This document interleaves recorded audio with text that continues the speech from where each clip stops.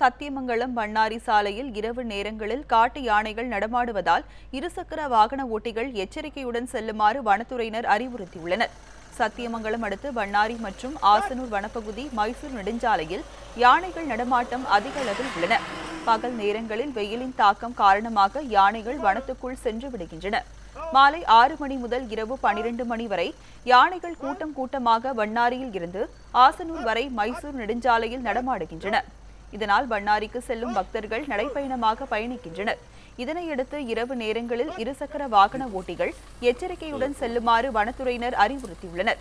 மேலும் van lorry car ஓட்டுநர்கள் கவனமாக வாகனங்களை இயக்க வேண்டும் எனவும் வனத்துறையினர் அறிவுறுத்தி வருகின்றனர்.